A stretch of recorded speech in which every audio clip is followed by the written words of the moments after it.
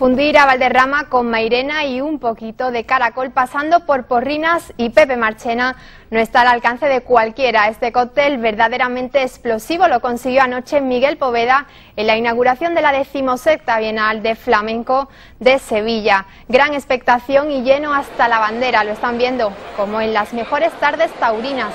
La cosa no fue para menos y los pronósticos se cumplieron. Poveda se arriesgó y convenció con sus historias de viva voz. Espectáculo arriesgado dirigido por Rafael Esteves y coreografiado por Nani Paños. Este sevillano de adopción hizo posible lo imposible, fundir lo clásico con lo más innovador y convencer al recalcitrante aficionado a lo hondo. ¿Qué sabes tú?